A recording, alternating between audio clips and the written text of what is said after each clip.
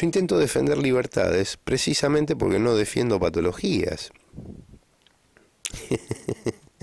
Ustedes pretenden que defienden igualdades y equidades y en realidad generan marcos patológicos de conducta. No pueden ganar nunca la pelea argumental, entonces lo que hacen son trampas porque ustedes responden a las articulaciones del sistema y yo no. Ustedes lo que quieren es una garantía sistémica de ganar. Es decir, apelar a jueces que están ya corrompidos en su, en su ejercicio jurídico, apelar a políticos que están corrompidos en su ejercicio ideológico, apelar a un sistema que está todo corrompido. Ustedes son los que viven del sistema, no soy yo el que vive del sistema, muchachos. Ustedes son los que han venido a no cambiar nada, no soy yo el que no quiere cambiar nada. Y yo no soy macrista ni de derecha.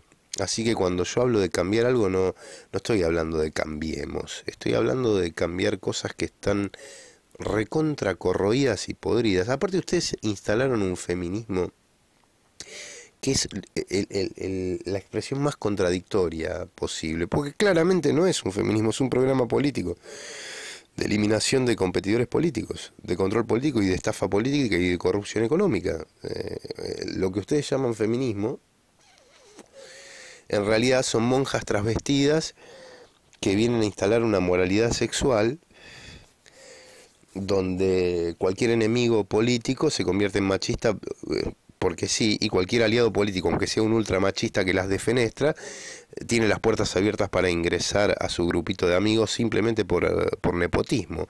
Ustedes no tienen un carajo que ver con nada revolucionario, ni con el feminismo, ni con una mierda.